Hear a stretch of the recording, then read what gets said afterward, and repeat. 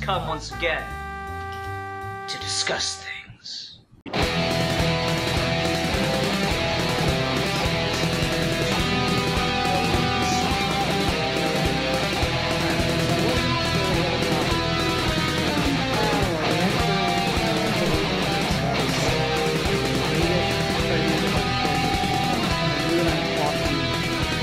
This, been gifted with the topic, if you're ready. Okay. All right. Hi, everyone. Welcome to another episode of Geeky Gentlemen. I am Syd Part 2. Joining me today is. Uh, geek for fun. Indeed. Um, and we are we are at our final episode, normal episode of Geeky Gentlemen, before we start entering all our our themed months for three months of themage, one month of just me telling you why America is bad. Um, and and I decided, you know, I like to do transitional episodes when I can, and we we actually do have a unique opportunity. So Alfie and I were talking about cosplays uh, before before we got it on recording, and I thought that would be a fun topic to do before we get into horror month because you know cosplay, costume, Halloween costumes. Um, now, oddly enough, this is a topic that has been covered before on Geeky Gentlemen. That's like Geeky Gentleman Year One shit, though. Uh, we've changed. We've we've lost the Frank Miller vibes. We've gone. We've sold out to the SJWs.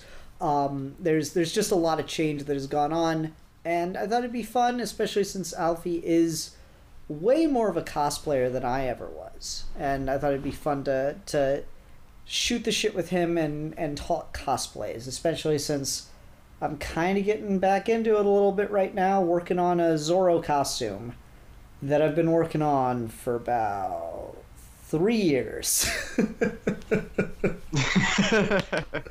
See, you're already halfway there to the cosplay thing. Now all you need to do is never finish it.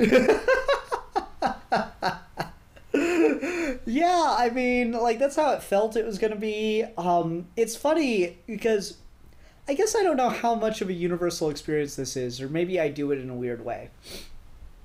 So, like, my Zorro costume started because I found that one piece that I know is gonna that that I know makes it all work.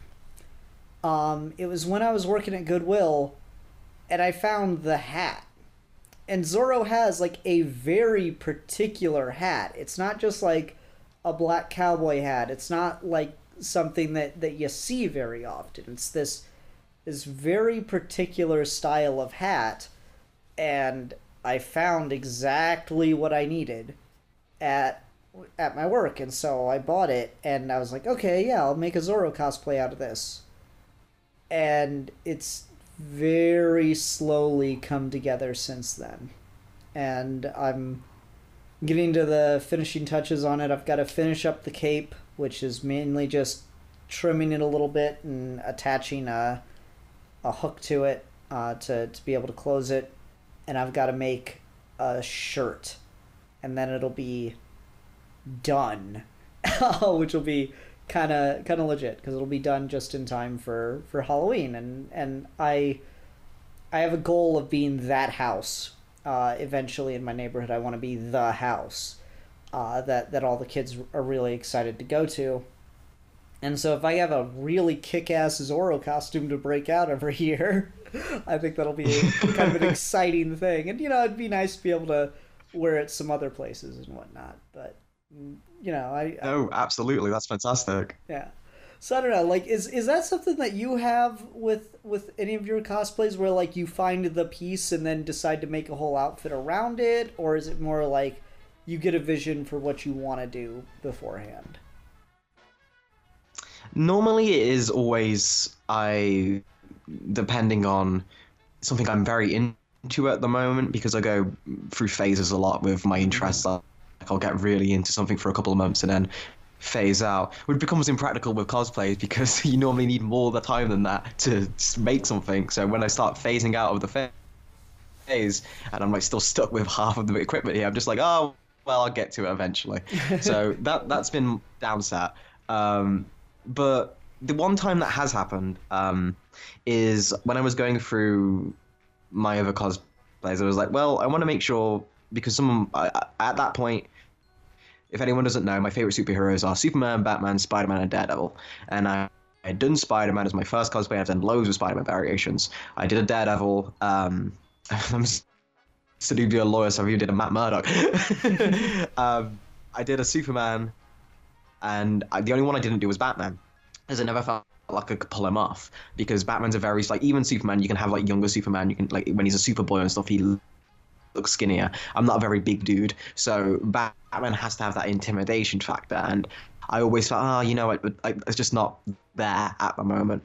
Um, especially because I'm on the younger side. I'm not like Batman normally needs to have like a more grizzled features. So all of that kind of put me off until when I was scrolling around, I would follow this uh, site called Tiger Stone Effects, and they posted a really amazing picture of a blue Batman cowl, and it looked legit. It looked very different than say like how the Batfleck or like the movie cowls are, where they've got very like old Frank Miller features built into the cowl. This one looked very comic accurate and very like sleek, so it could fit a younger face, and it just made me instantly think, oh, this would look great on Dick Grayson, kind of thing, and that's eventually which led to my Dick Grayson Batman cosplay. Um, so yeah, that is probably the closest example I've had to that.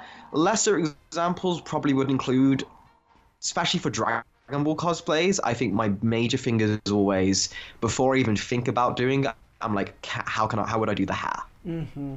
Because that makes or breaks a lot of those for me because I see these fantastic Dragon Ball cosplayers, but it's always dependent on that initial shot of no matter how good the costume is, if the hair doesn't look right, it just doesn't look like Dragon Ball. Yeah, and like it's it's interesting to see the different approaches that people do to kind of solve those like very particular stylistic things from different uh different franchises, you know? Like Dragon Ball mm-hmm. you mentioned yeah, I've seen plenty of people do like wigs. I've seen other people do like you know gel their hair to to crazy degrees, um, just to you know a, a, number of, of various approaches to try to make it work. Some people don't like even really do much of anything, right? They're just like, okay, the the hair is just like something that's it's not really there. It's or not really doable in in a very practical way. So I'm just gonna wear the outfit and, and leave my hair down or something like that. Um, mm-hmm. So it is. It's interesting to see those different stylistic approaches and this. You know, it's all just very like, you know, backyard work, and that is something I get just super nostalgic for because I did so much of it of, of just you know backyard tooling and and kind of creating stuff and it's it is super fun to see how that all kind of comes together yeah it's my favorite part of doing it i find it very um, therapeutic and probably why i like cosplay so much as a hobby is the cons are great, the meeting people are great, seeing the reactions, especially from kids, is just it, it, like it would just it once you experience it once, you just like get such a buzz from it. You get such a feeling of just like wow, I made a memory. I I I managed to bring the life this character to someone. And even when you're not like initially going all out, if you go for just a more casual cosplay, it's just fun to wear that character and just in any kind of way and you kind of get that energy into like say you're wearing like a goku t-shirt you suddenly maybe feel a little bit more like you know what? Maybe i can do like extra five push-ups or something. Like stuff like that i think is important but what i get the most out of it especially for the more intensive builds are the just the long quiet hours where i've got my headphones in i'm sitting down in my kitchen on the floor, complete mess of foam and EVA mats, and like every like hot glues or stains all over my clothes and everything but it's it's just like my ideal environment of just like okay i'm gonna sit down a few hours i'm gonna get to work start from just a template and then by the end of the day oh hey that's a gauntlet mm-hmm. and it mm-hmm. just it feels so exhilarating when you get to that point yeah and you know the funny thing about me is most of the the material i tended I, I tend to work with because I guess I'm a cosplayer. I, I I've taken a very long hiatus. Maybe this Zorro bullshit will get me way back into it in a in a disturbing way. Um, but like uh, the material I always worked with was almost entirely fabric, which which is just ridiculous because I can sew, but not for shit. You know, like. I, I do really messy stitches. I do I, I do not do good quality work. Like you would not pay me to be your tailor. Um, but I always tend to gravitate toward fabric, and I think it's just because I understand fabric more in in a way that like foam never really clicks with me. I guess it, it's kind of the same thing of I I have why I could never be like a sculptor because I I don't physically I do not understand how someone goes like block of marble to statue. You know, I just I I cannot possibly think that way. Uh, and and I guess I have like kind of a similar thing with foam. Like, I guess maybe if you like layer the stuff, but it, to me, fabric just um, it just makes more logical sense to me. Even if I'm not like great at working with it, I understand how to get there on a thing. So like when I was working on the cape, um, luckily I already had the fabric lying around from uh, something else I was trying to do, not related to cosplay at all, but just I had some really heavy black fabric, which I, I think will be great for the cape. Um, so when I was working on the Zorro cape, I was like, all right, how do you do a collar exactly? And so I like looked up this tutorial that someone posted about like how to sew a collar, a high cape collar, and they were doing more for like a, I guess what I'd call like a Dracula look, where it's like you know full on popped collar kind of thing. Oh my god, Dracula's a dude, bro, who pops Right. his collar. He's the original dude, bro. There you go. He's the frat boy. Like that's why he keeps going around to women and fighting virgins. Right? Fucking, I need a virgin. Um, that was a terrible Dracula. uh, this chick's such a fucking slut. Um, I'm not gonna drink a slut's blood.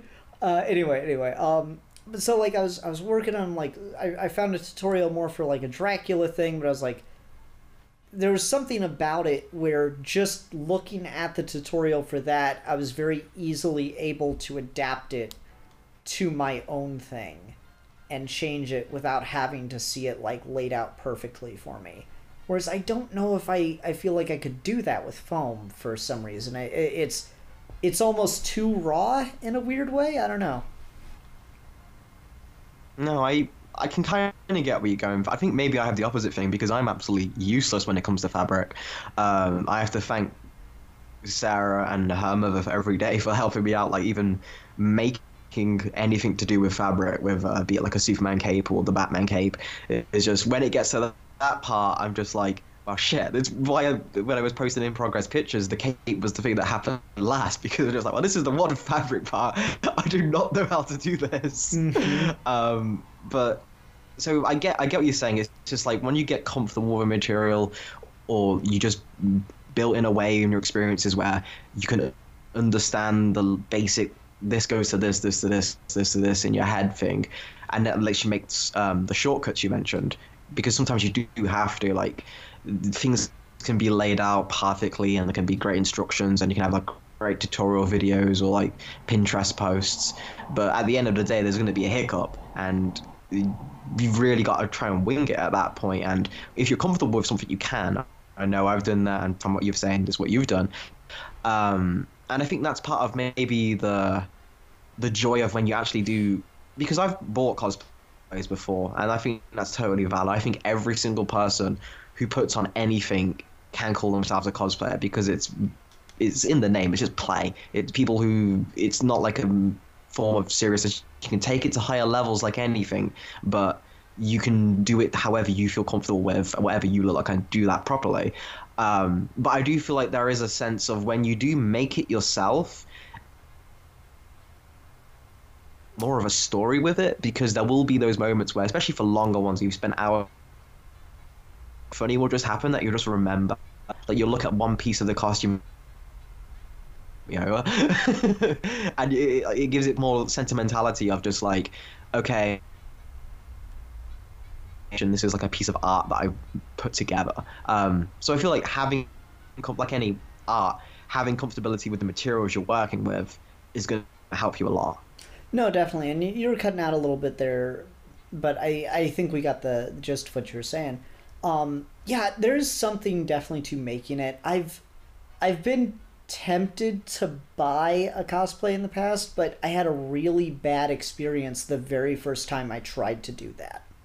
Um, I when I was doing my Joker cosplay, I, I don't know why I do this because I'm the only one that's gonna know. When I was doing my Joker cosplay, I was very particularly going for Arkham Asylum, Serious House, Serious Earth Joker. And so for that, I was like, I was gonna tie up and pin back my hair, and I was going to commission a wig. And you know, there it it like I, I was looking online and I found a bunch of stuff that that people could do with wigs. I'm like, oh yeah, so you could you could do Joker's like weird, you know, flowy, wavy hair. I was described it as like Elvis Presley meets Tim Burton.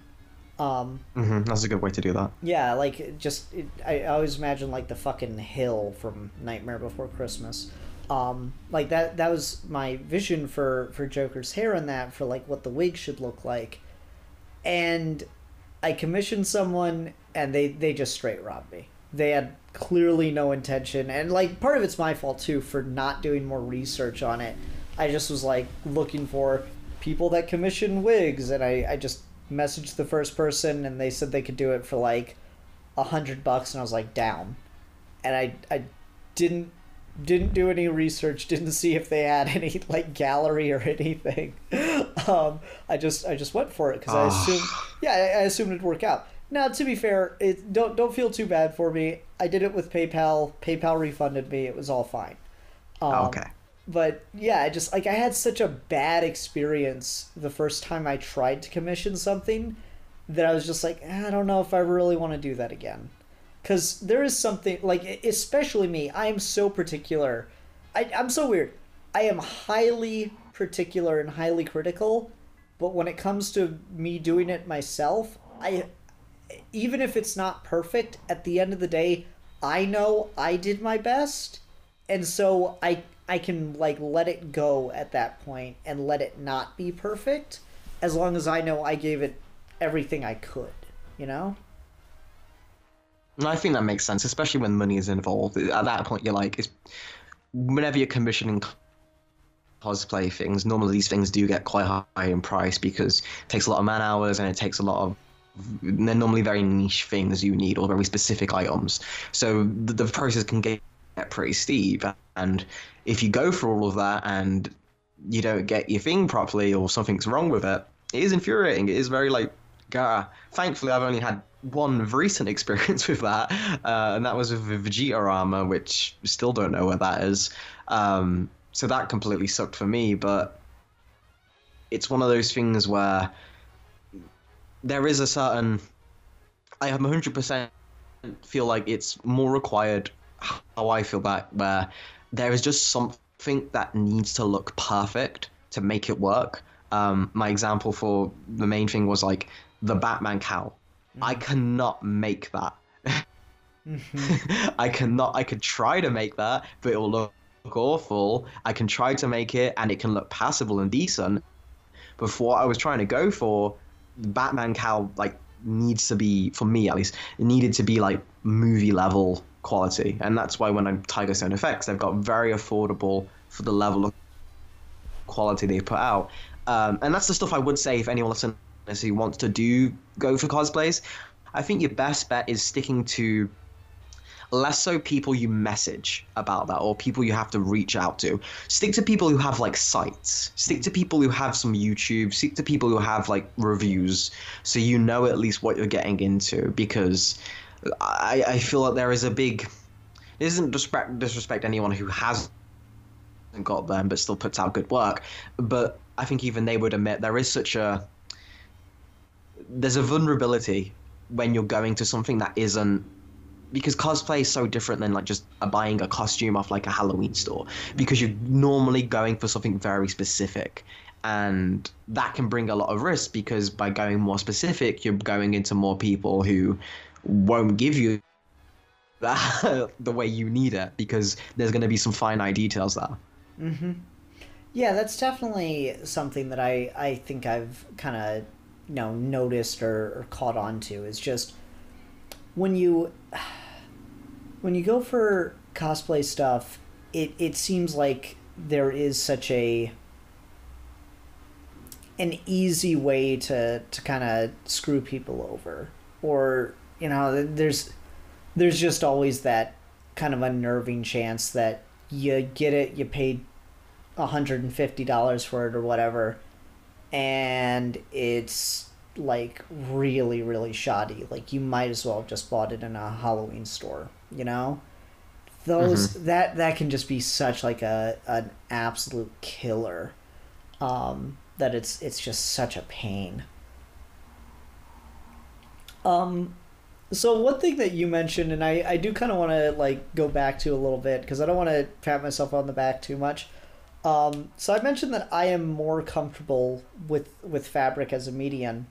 Um, I should say I, I mentioned that I'm a really bad stitch, uh, and I, I should definitely say my mom has helped me with so many of these and she finds them all ridiculous and like it's it's partially her fault I, I do want to establish it is partially her fault that she's had to help me so many times because she's a really bad teacher when it comes to sewing like we were over there the other night and i just wanted her opinions on what to do with how to attach the collar to the cape and she's like, "Oh no, you got to use a sewing machine for it." I'm like, "Oh well, I'm here now. Can I just use yours?" And she goes, "I don't want to sew tonight." I'm like, "I'm not asking you to sew.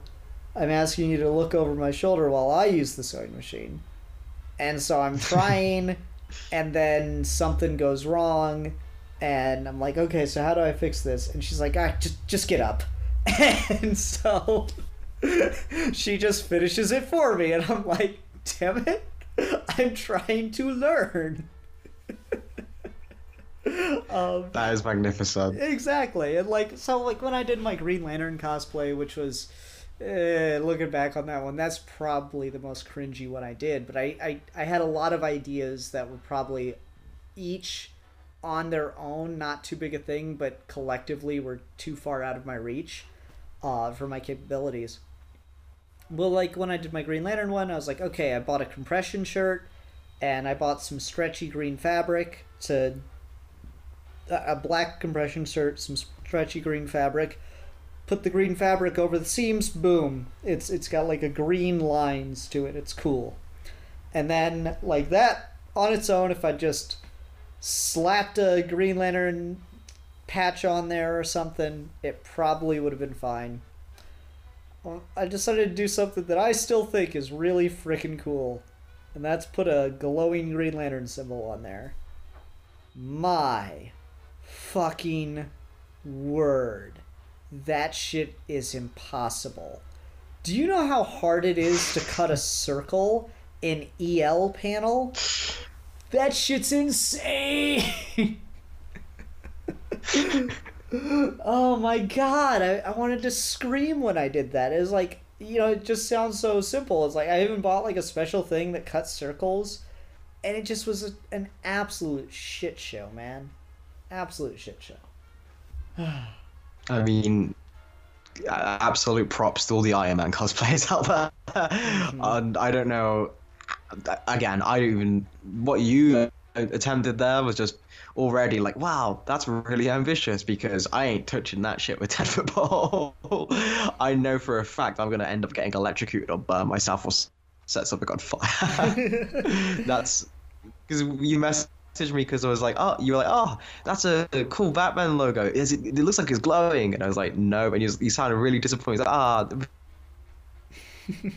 it's like, if I tried to put LEDs in that thing, went up. Yeah, yeah, no, I, I feel you there. I get I get nervous around electronics too. Um, EL like wire and panel isn't such like a risky thing of of getting electrocuted, at least for my thing. It's just it's so difficult to work with because it's kind of like just tiny that even like the most basic mistake you've just you've just wasted like twenty dollars. You know, um, so that was a real kicker. Uh, also, it's really fucking annoying. Um, the EL panel and EL wire tends to just be like, you know, it's a little string of light or whatever, and it goes to a little pack that holds two AA batteries or like a 9 volt, and you just press a button and it turns on. And there's just always this. Shit's so fucking annoying. So like, you know, walk around as Green Lantern, that's cool. someone tries to talk to you. Huh? What? I'm I'm sorry. I, I, all I got is just this fucking awful sound. Green Lantern, here he comes to save the day. The power his ring. That's the next. He's just dig that out, and for the next Green Lantern audio drama, that's all all the ring sound effects. Well, it's funny because like the EL panel has like three settings. It's just like constant on, flashing, and then strobe, and so it could just be like ring power, one hundred percent ring power, fifty percent eh eh eh eh ring power, ten percent. I mean, it works. There's your CW Green Lantern. Oh my god. I can't even imagine. You know, I, I think that might be like a good transi- transitional thing. Do you think that it's. Because something I hear a lot from people, and, and I don't know how serious a dig to take it as. Do you think that, like, as the cosplay community has grown, people have gotten more harsh on what superhero costumes look like in television and movies? Oh, 100%. Uh, you see the the definitely see it all the time with the Spider-Man uh, fandom. Not even on the costumes, but on the fact that they they CGI over the costume so much, which it didn't used to be the case. Like people were just like, "Oh, the Raimi Spider-Man suit was fantastic." Yeah, yeah. Very much when the first Amazing Spider-Man costume came out is when the cosplay scene really blew up for that, and people were like, there was a guy called McLean, and you can look him up on YouTube. He figured out how to make like to the dot replica of the Amazing Spider-Man one costume, like complete, all from scratch, all on a very small budget. He bought a bunch of absolute- basketballs and stitched them I'm- together. mean, that's that's the critique, isn't it? But it actually isn't a basketball texture. The homecoming texture is a basketball texture. that one's like a honeycomb. So this is me debunking shit right here for that meme. um, there's there's there's Al- Alfie facts. It wasn't ever a basketball. You peons. Um, but yeah, so he did that, um, and after that happened, people were just like, well, if he can do this on this thing, why can't people do that? Uh, definitely on the not so much the movie suits because those are still kept like a very high like texture level quality. Um, but the CW and like the other shows, like the Netflix shows as well, whenever they're like, oh, we're not going to put someone in the suit, oh, we're, we're going to give them this, people are very quick to call out, well, no, the comic suit looks great. Look at these 10 photos of these people doing the exact comic suit fantastically. Um, I think it, it's been a very good ground, if for one positive thing for it, I think it's extremely made a good case for why the designs from the comics don't need to be tinkered with that much for some characters, where you can just. I've seen so many. There is, in my opinion, there is no excuse for there to be a bad Green Goblin costume anymore because I have seen so many genius looking Green Goblin cosplays, and it terrifies me how good they look. Um, and it, that, that's just like okay, you can do it because that was a character I was like okay, maybe you can't do that. I've seen it. It's like, okay, that's proved. Um, so yeah, really, there is less so just because often the the case I think we both see is like people call it cheap looking a lot of the time. Mm-hmm. Um, I don't think that really has much to do with it. I think it is very much a lot of, these, especially like if we go back even further to like early comic book movies. Like looking back now, it's kind of crazy, but the design choices there aren't necessarily made for like cost concerns. It's more or so like, oh, we gotta make sure this looks good on camera. Whereas a lot of these cosplay photographers, especially the really high tier ones, are like, oh no no no, we make these look good on camera, but these are just the comic costumes. So I, I see that a lot. Yeah, I don't know. It's just like there's. I didn't see much of it. I, I I saw the clip of it and I was like, yeah, yeah, it's it's just it's just fine. It's not even like good or bad. It's just it's just there. It's very forgettable. But like the Gotham Batman suit got so much shit for being in like one shot. um, and I was just like, yeah, I, I don't know. Like it's not great. It's pretty much the least imaginative Batman costume you could ever do, but it's it's just a pretty basic Batman costume. If we'd had this in like a Batman show in the you know 90s or 2000s, I think everybody would have been fine with it. I don't know where where like the outrage is coming from here, but I think it's just because I think the outrage for that. I mean, don't want to judge but I think the mostly it's for that is because very much the premise, like this, the Smallville thing, is they build it up. They tease you, and for people who stuck with Gotham for that fucking long, I'm like, yeah, if you stuck and watched that show for how many god seasons that got, and then you pr- finally get your promised shot of Batman, and he looks like that, I'd be pissed off too. I mean, I guess I don't know. I guess this kind of goes back, and I don't, I don't want to get too far away from it. It goes back to like that whole conversation we had about like fan entitlement, um, getting like really, really annoying, and and maybe it's just more that that I found distasteful than I than it was like anything against the costume itself or the the the criticism itself. But I don't know.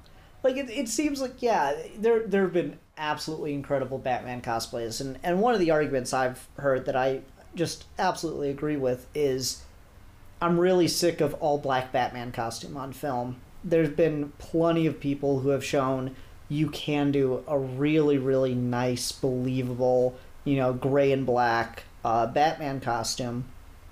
You know, I've, I've seen like recreations of the Arkham suits and stuff like that.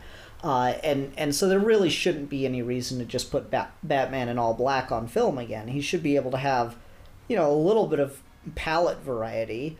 Um, and I think that argument had some weight to it. I mean, we got it in BVS. We got the basically the Frank Miller suit, but I mean, it looks amazing. Movie Mhm. aside, the the suit looks amazing, and I think I think Snyder would have had a harder time getting away with that if not for you know some of the the fan community kind of rallying around cosplayers proving that you can do the gray and black suit. No, I think that's a really good point. I, I'd be very interested to see these pitch meetings where I, I wouldn't be surprised if like someone was like, "Ah, I would that work?" Oh, said, let me get my phone. yeah, like you, it's so much easier these days. Where you, it's, it's almost like you just get free concept art for all these characters. Where, oh, we don't know if like Marvel Studios, Kevin Feige. Oh, do we really think we can adapt so and so character into this? Oh Oh, yeah, let me see who did that. Oh yeah, look, they got great. it's that kind of thing. Oh, this one, this one doesn't really work so much. Okay, we won't do him. Like, it, I think it's a very a proving ground that we're not being told. I think they pay more attention to the cosplayers than people that aren't. Especially because Marvel's even doing like a on their YouTube channel, they have like a Marvel becoming thing where they get cosplayers to make their suits from the movies, where they give them some resources, like okay, make this, and then they post it on their YouTube channel. I did not know that. I'm Um, gonna have to check so- those out. Yeah, they did one for Mysterio. They did one for like uh, Black Cat from the PS4 game. It's quite cool. Um, but so they show you that they are actively trying to get involved with them. Um, but I know some cosplayers who got like invited to movie premieres to like hype it up and like do it. It's the same way that you used to get back into early days when it was like the Orlando Spider-Man used to go all around the country to promote shit because that was just a costume that they had. Hmm. Um, so there's the I think it's just the the natural evolution of that of as things become more readily available, as things have more access to resources, more people are learning how to make costumes, and these companies are noticing that and they're being able to kind of capitalize in it. But at the same time, I do think it kind of runs into something that maybe the comics were having a problem with, where bec- because these fans do really good designs, like when back in the days when people did really good like concept art of this is what this character's redesign should look like, or this is my OC. It, it, I'm sure some of them become quite conscious of, oh, this guy made a really good interpretation of what Daredevil should look like in live action. Fuck! Now we can't use that. Mm-hmm. Yeah, I do. I do wonder about that stuff too, like the legal ramifications of this, and you know, can we just hire them on as a consultant? Well, not really, um, for reason. There was one case where that did happen quite recently. Um, the person recently, the CW did like a a teaser to like their crisis that's going to happen uh, later next year. Um, but there was the thing where they got Jay Garrick the Flash on from like the but they not the guy the actor who plays Wesley Snipes, who in he needed to get his original '90s Flash costume, but they didn't they couldn't make the cowl. Cosplayer had made the cowl, so they just brought him on and he made the cowl for him. Um, so that's quite a cool thing that I think more people should do. Like if Gotham literally just said, "Oh hey, Tiger Stone Effects, can you make us a better Batman cowl?" I'm sure they do it for free. I mean, yeah, they'd do it for the fucking credits, you know. Um, that shit would be would be huge for a cosplay studio. Um, I don't even know what you'd call those because. Do you think it's a big enough business that you could have a whole studio, or is it just like a lot of independent garage operators kind of things? I think it is garage operators, but they make enough to make it. A I think it's similar to YouTube. Is you make enough where it's a job, but you're not exactly living. It, it is, it's very much like oh, two people, and uh, that it, it can support two people, but any more than that, and it would just break. No, I think I think that's a fair way to look at it. Um, and it's I don't know, it's really interesting. I'd I'd definitely be curious to talk to more people about you know that that actually do the commissions and stuff. Because that's the side of things I've just never gotten the chance to really hear much about, but it does sound absolutely fascinating. Um, let's go ahead and wrap this back a little bit and, and kind of talk more about our stuff, like our interests with it.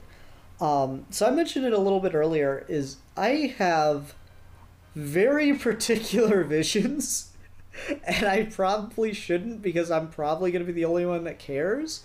Um, so like my Joker cosplay that I did, that I'm still relatively proud of. I think it looked really good.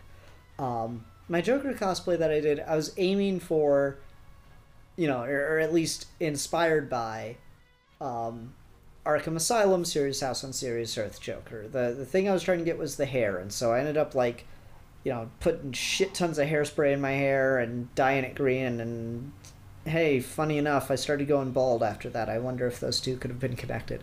Um, but like, maybe you never know. Uh, it's it's something to worry about. Um, so like, you know, I, but I, I was going for like a very particular thing that I knew no one, no one was gonna fucking know what that was, besides me.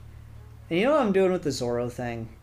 Because my mom's like, why do you have such a heavy material for the cape? Zorro always wore like a really like silky cape, and I'm like, but mom. I'm going for the Matt Wagner Zorro, and his whole thing is like it's supposed to be stuff that a peasant could wear um and, and like yeah because that's like one of the cool things about matt wagner's zorro run is somewhere in the the beginning he talks about like building the costume and he wants it to look like anybody could be zorro so he doesn't he, he like purposely doesn't have a lining in the cape because it needs to look cheap.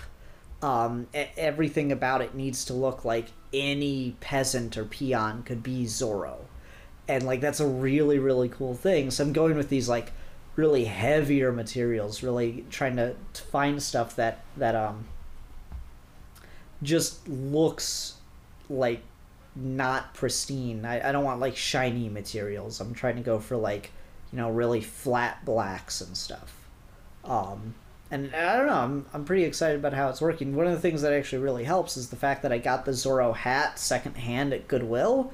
And so it's it's actually a leather hat and it's kind of not like awful or anything but it's a little it's a little frayed it's a little beat up. It's got some like parts with the leather's peeling which i really i, I really like that side of things. It, it just it helps to um to kind of sell the overall look i'm going for you know hmm I think that's. You say it's only you cares, but like first I'm gonna say that's the most important person who needs to care. um, and the next thing, I think that's a really good point, and I think characters who have that specific trait are the ones I feel like are the best to cosplay, or the ones that can, especially when you're not dealing with like the higher end stuff. I feel like these are the ones that lend themselves to cosplay the most.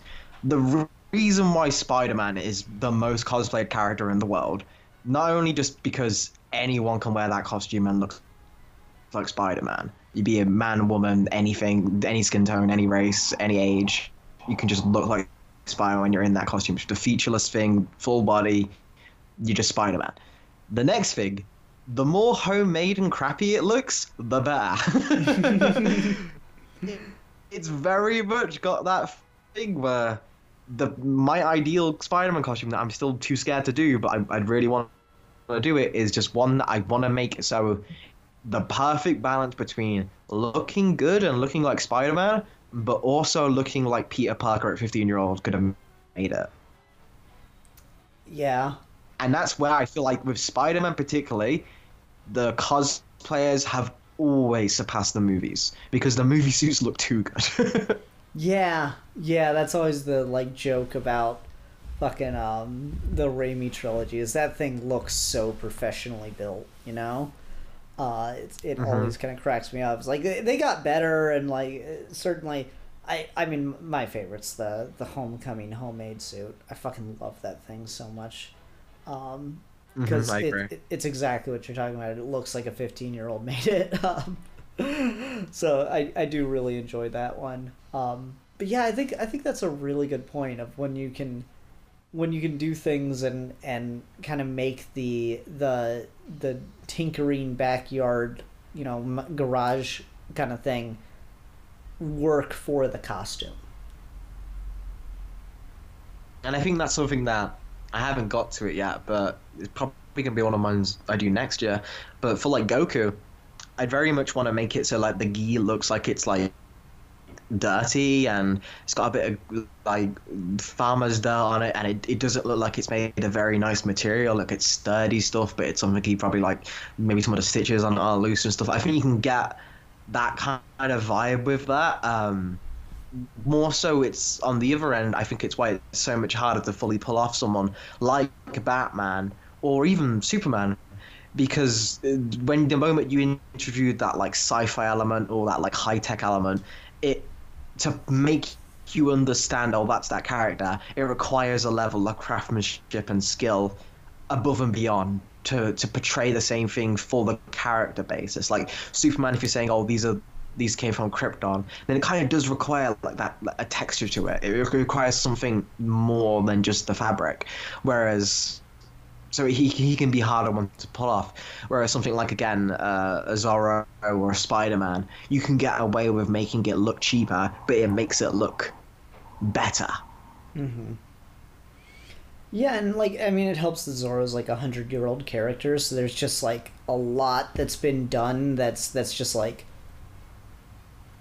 a lot of like costumes are based on Zorro's costume, um, which is I, I know that's weird to say, but like I may I don't necessarily have any like evidence to back this up, but it's something I have a really hard time thinking of something that predates it.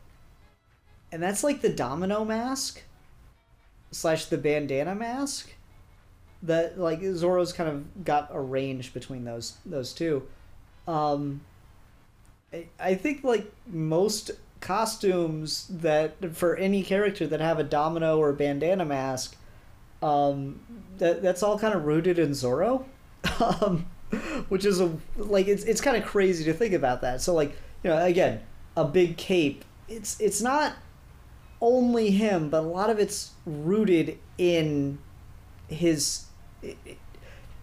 Zorro was at the very least one of the first ones to kind of touch on a lot of the tropes that other things would play into.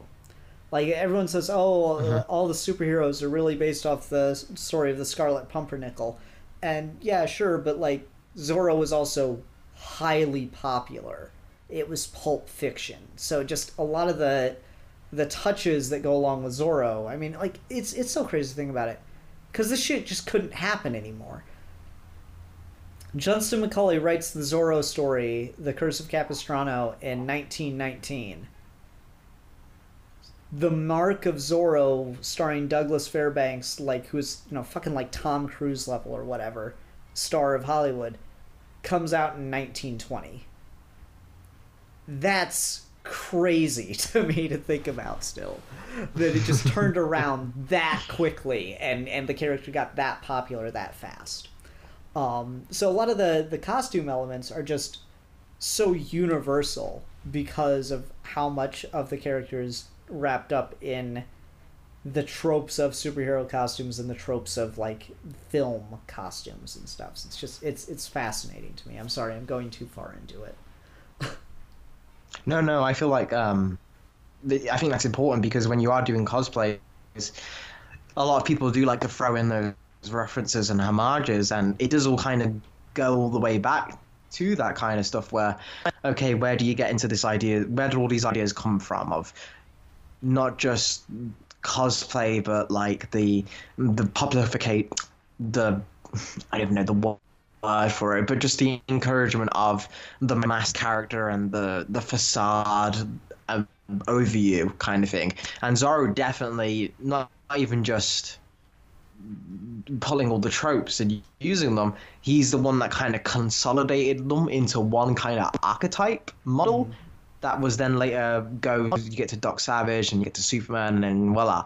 Um, it's a very clear line there. Um, so I feel like that's very I think it is relevant, but at the same time, maybe just even going away from just like superhero stuff. I think like another big influence on cosplay and the thing that maybe spawned into just other like movie stuff is like I like the Star Wars cosplayers group have had. I think and that when that movie hit, I think that was the thing that really started the cosplay boon. Is after the first Star Wars movie dropped. I, I could definitely see that. Um, I think Star Trek is maybe the the predecessor to it that that kind of like created the idea for within nerd communities to kind of get into cosplay because Star Trek was just that thing that was like really easy to cosplay, right? Oh, it's it's a yeah. sweater with a patch basically. Um, but then like you know, as soon as Star Wars dropped, yeah, I, I think you're definitely right. It, it just it was such a cultural phenomenon that of course it became something that like people wanted to start, you know, getting into and and uh, kind of personifying. Um, I don't know if I'd say it was like it was the first thing that dropped because I think it's a, an important thing to discuss here is cosplay is of course a term that comes out of Japan because it was much popular much more popular to do in Japan for a long time, and it's only kind of become popular in America relatively recently. Like cosplays, costumes have always been a thing here in America, obviously, but like to show up at a convention in costume was like something that only like the super hardcore fans would do and it was something that was that was kind of mocked um, back in the day. Whereas now I feel like it's it's become a lot more mainstream than it used to be. Hmm I think that's a good point. Um, it definitely does kind of lean more into the anime side of things, and then that bleeding over into the video game side of things, and the movie kind of things, and the comic side of things. It's all kind of a hodgepodge. Um, but when like anime cosplay started really like, picking off with like the variation of characters and the anime studios putting out guides for how to do it and like stuff like that. I think that did help encourage other mediums kind of getting behind. Oh, maybe this is something we should start promoting. So like the, the hiring models to dress up as like Scarlet Witch for Marvel booths and stuff like that. Those companies started doing so. There is all of that. Um, I think it's interesting, especially to see how much of a not even just oh the fans go and do it, but how much of like a business it's become. But like if you have a convention, you're gonna need to get some cosplayers there. Like it's part of the organizing now of like Comic Con. You see so many YouTube videos of just like oh cosplay montage video of here's all the cosplays from Comic Con with some music behind it, like it's edited really nicely. Um, but that's like part of the attraction now. It's not even just oh I'm gonna go see all my the fans and stuff. Because when little kids go to cosplay, they're going to to Disneyland because you're going to get to see Darth Vader in person and stuff like that. Mm-hmm. Yeah, yeah, I think that's a, a really good point. Um, and you know, it, it can be kind of underwhelming when you go to a con and the cosplays aren't that much. Kind of like what just happened last weekend with Haley and my friend Bobby and I. went to a con. And there were there were a couple cool ones. We, we saw a guy in a cool vulture from uh, Homecoming uh, costume. That was that was pretty neat. Um, but eh, there's there's a guy dressed as Captain Falcon and he like decked out a a tricycle or something to be the Falcon mobile, but it was kind of just eh, you know, it's not Yeah. yeah, it's it, it was it was more annoying because he was just driving around the hall and the hall was not very big. so everyone was like just like, dude, just put it the fuck away. It's it's too big.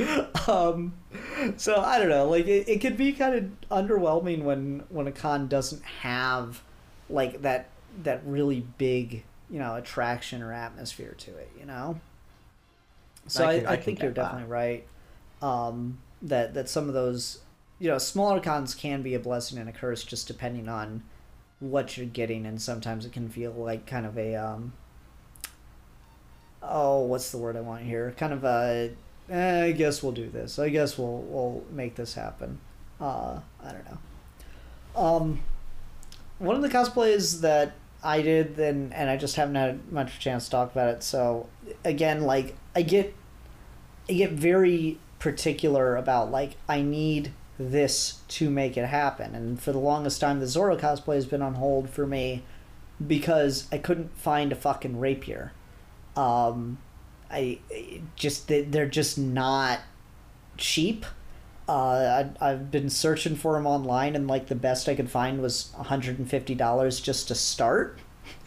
Uh, And finally, I found one. I just again last weekend. The highlight of it was I went to a con and there was a rapier for sale for eighty dollars, and it didn't have a blade. It was just a nice flat piece of metal. Basically, I'm like, thank God. I've been waiting for this forever. Uh, so I was really, really excited to get that, and that kind of got me impassioned about it. You know, Halloween's coming up again, yada yada yada. Um, but like, I get very particular and like, okay, if I can make this work, but I need the thing to do it. Um, and I think the the best thing I've ever done cosplay, and, and maybe that's why. Maybe I just need to, you know, kind of, kind of check out, and like everything else is just downhill. Um, the best thing I ever did cosplay wise was my Sonic the Hedgehog cosplay, because I I didn't go for like you know trying to look like Sonic. I I went for just like kind of a some that was was in the spirit of Sonic, something that looked cool, uh, and and mirrored the characters. So I did like a uh, a tan shirt and a blue hoodie over it. I rolled the sleeves of the hoodie up to my elbows, so I had you know the the skin tone arms, um, and then I had like this kind of dorky looking Sonic hat thing, but I you know velcroed it onto the hoodie and and just wearing it like that made it look a lot cooler and that was all fine wore jeans uh, just blue jeans what really made it all work was my fucking sonic shoes have i ever showed you a picture of my sonic shoes alfie Yes, you have. You mentioned them, and I was extremely impressed. Yeah, I fucking went to town on those, man. I got some really nice, clean looking red sneakers and with with the white bottoms, and then I went to a cobbler and had him fucking add a white leather strap with like a proper buckle on it. And it looks like like a lot of people give it like some side eye about the buckle, but fuck them, man. It looks good. Yeah, I I 100% agree. It's very legit. It's the best way you, I think you could go about doing a Sonic cosplay. You nailed it. Thank you. Yeah. So like again, it's just it's always just getting like that one particular thing for me, because for every cosplay I've done, that's that's what it's always been about. Is like, can I get like this one really specific thing down to to create the details? So like the the Joker, it was the hair. For Bat-Mite, it was the fact that I was wearing Batman underpants over my black jeans. For um, oh, what was it? Uh, for for Green Lantern, it was the glowing symbol. For Zorro, it's kind of like between the hat and the sword. Um, it's just getting those those like very specific details that I think kind of brings the whole thing together. hmm I think that's such a it's a good goal to get because it's like you have like the, the showpiece then you have oh here's everything around it but this is the thing that like, whoa, this is like.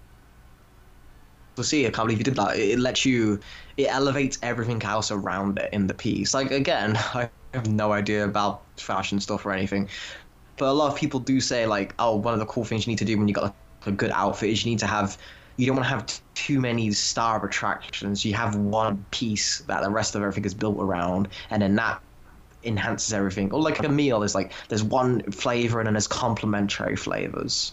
Mm-hmm. Mm-hmm. And I, th- I think taking that something to do, especially when you are on a budget and you can't make everything the standout star. You say, I'm going to make one really killer looking thing, and everything around it will be good enough to where it just pulls it together, but that one thing is going to make the piece. Um, and I think that makes a lot of sense. Yeah, yeah, I definitely agree. Um, so one thing I I think I want to talk about is going back to a cosplay.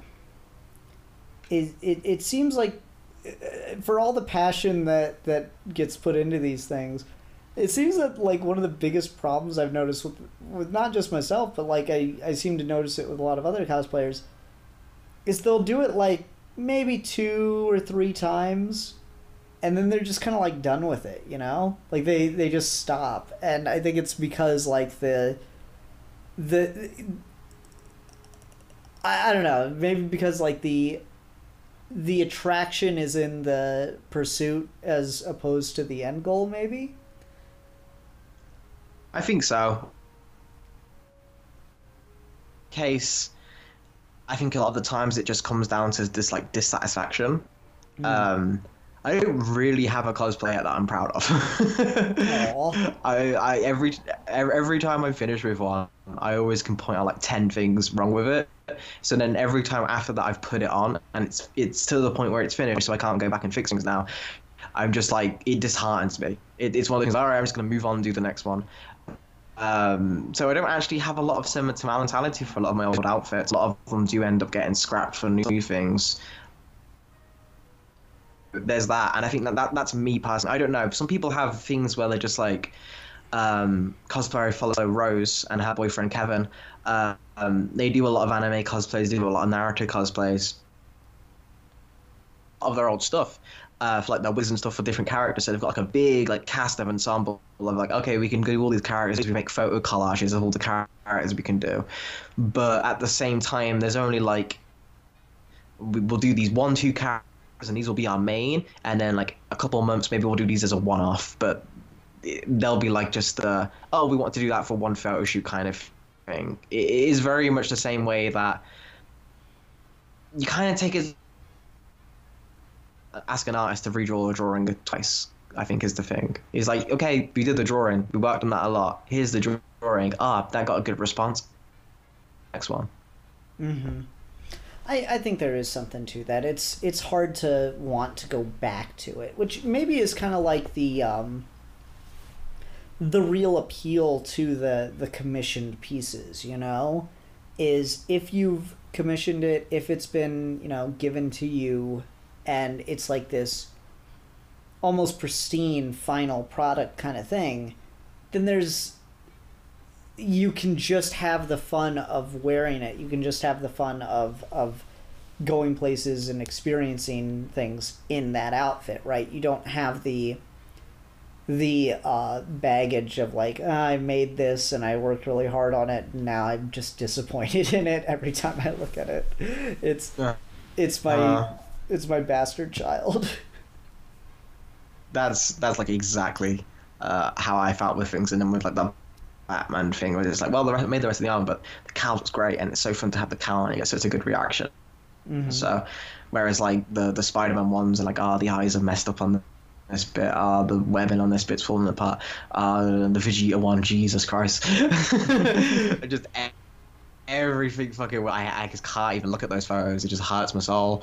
Uh, Aw, I thought it looked good. so- I, I thought you did a good job on the Vegeta one. I give a shit what you think. it's just me just being a, a bitch to myself. This is one of the only things. This is what I'll, I'll, put on supreme confidence. But I am by far my own harshest critic. so that's that's that's that thing for me. Um, but it is one of those things I do think. At the same time, it doesn't necessarily make me. I guess maybe there's a distinction between when you're saying, "Oh, I'm gonna wear the costume I made year ago again for this thing," because I'd rather be like, "Okay, I've done this character once. I can do this character again better." Mm-hmm. And I don't like know. there's, there's- there's been really great um, examples of people who've been posting their photos like here's my first like this absolutely fantastic goku cosplayer called christopher mini uh, he posted like a, a while back his five years ago goku pic man he's very skinny very very small wearing a very cheap like the the, the goku outfit everyone wears it was like tattered and ripped, and he wore like a really, uh, really ugly colored yellow Goku Super Saiyan wig, uh, and he's just like in a really bad pose with like a crappy camera. He's like, okay, that's five years ago. Okay, here's now, and it's just Goku, and it's just like, holy shit, these these fucking huge. and it's just like perfect wig, perfect contacts, perfect camera quality, everything. Um, so I think that there's there's something to that where okay, he doesn't have to wear that crappy Goku costume over again, but he can just keep working on it. Mm-hmm. I think I think that's a good way to look at it. Is you can keep improving it, and you know you can it, kind of similar to what we were talking about. Like, oh, you need the piece to kind of like bring everything. But if you keep working on a character and keep improving it, you don't need the piece anymore because slowly over time the whole outfit becomes the piece. You know. Mm-hmm. And like I'm kind of thinking about that too. Like Mazora costume, I bought pants for it, and I don't love the pants. They're like these weird. I think they're called like Thai fisherman pants or some shit. I don't fucking know. They got a rope that you have to use to tie them off. They're like seven thousand sizes too big for literally anyone. Like I can put them on over my baggy ass jeans, and you can't tell. Um, it's it's kind of crazy. So like, uh, you know, but I'm at the same time. I really love the sword. I really love the hat. I really am getting excited about this cape. Um, you know, there's there's so much about this that's that's kind of working and growing for me that I'm like, I don't know. I, I feel like I might be able to make this happen and and kind of just really have a very very fine thing that I can just improve on little bits over time. Like I bought boots for it that are just again, nice thing about Zorro is so much of it's actual things that people use. I just bought like short riding boots and it it it looks so good.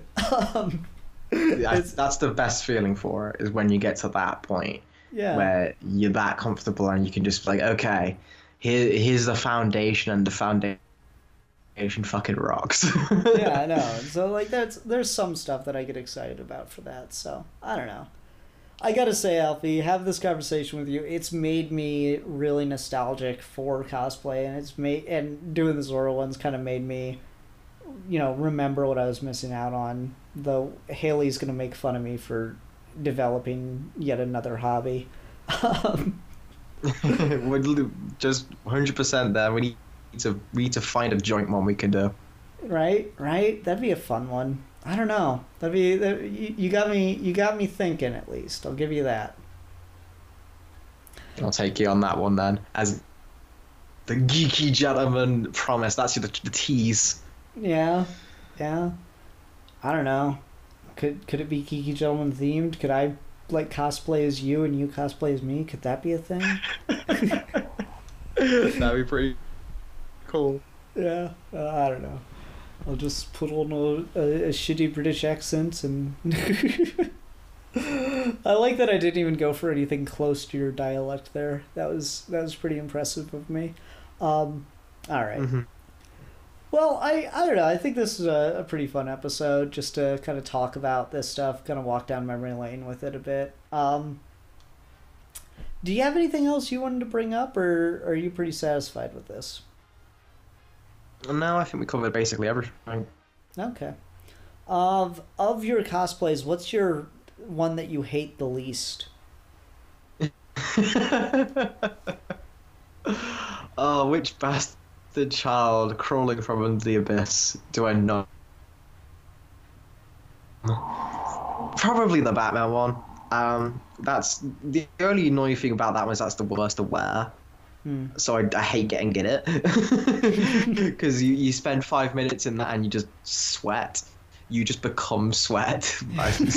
you, you get you get 15 pounds lighter after you take it off because you just You know what sweat someone out needs so to much. do is is the Steven Sejic Batman in shorts cosplay. I need that in my Uh-huh. life so badly. Either that or some of the Lego movie Batman costumes would be pretty fun to cosplay. Uh huh. I'd I'd love to do. uh uh, what's the what's the one that got turned into Robin? the, the the reggae Batman. Yeah, yeah. That was that shit was so ridiculous. Um yeah, anyway. Uh okay. Well everyone, next week we'll be starting with Geeky Gentleman Horror Month. Um Alfie, do you have a horror movie or anything picked out already or do you wanna Uh, just surprise us? I'm gonna have to surprise us because again, I'm useless when it comes to horror stuff, so I'm gonna have to look up shit. really? You don't have like a favorite horror movie or anything? Not really. It's not like my genre. Ah, you you sad little punk. All right, fair enough. uh, everyone, thanks very much for watching. Until next time, I'm the philosopher. wait, wait, wait, wait, wait, wait, wait, wait, wait, wait, wait. Okay, I don't don't want to give people hanging. I don't want to don't want to be a punk. Can't, can't call me out like this. I want to be a man. Um, you done it, The which one? the first one. Like like the '90s one or? or No, the the, the one? chapter one of the modern movie. Uh, no, we have not. I don't know why I was asking because we've not done any version of it, but I was I was just more trying to figure out for myself, um, like which one I'm gonna have to rewatch. Yeah, yeah. Um, no, we've we've not done it. So I guess it chapter one next week. Yeah, shoot for that. one. All right, everyone. Hope to see you there for that month's installment of Ghouly Gentlemen. Uh, until then, I'm the philosopher, And I'm a ghoul for fun. and we are your geeky gentlemen, and we will be discussing things.